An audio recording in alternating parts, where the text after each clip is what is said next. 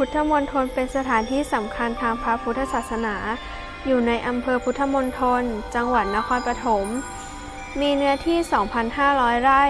สร้างขึ้นเพื่อฉลองวาระกึ่งพุทธกาล เมื่อพุทธศักราช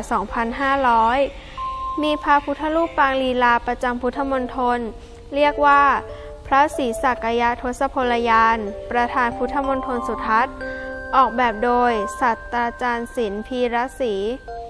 พระพุทธรูปนี้สร้างเสร็จและฉลองเมื่อพุทธศักราช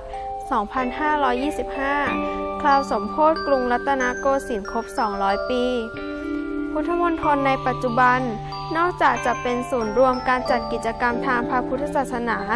และจัดประเพณีกิจกรรมต่างๆ แล้ว ยังเป็นสวนสาธารณะขนาดใหญ่ ที่เปิดให้ประชาชนทั่วไปเข้าไปพักผ่อนได้อีกด้วย